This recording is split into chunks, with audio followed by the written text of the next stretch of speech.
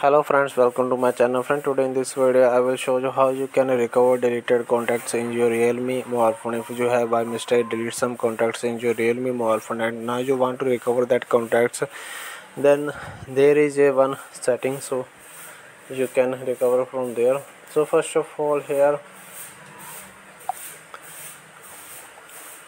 inside uh, here about device you can see i'm using realme mobile phone for making this video. So in this mobile phone what you have to do you have to go to the apps where is the all apps here you can see.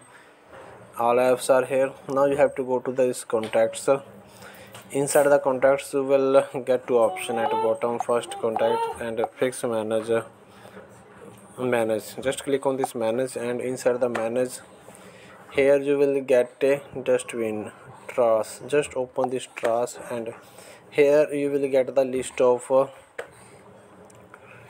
list of deleted contacts here. You can recover from here by clicking on that particular contacts actually actually at present i have not no any contacts.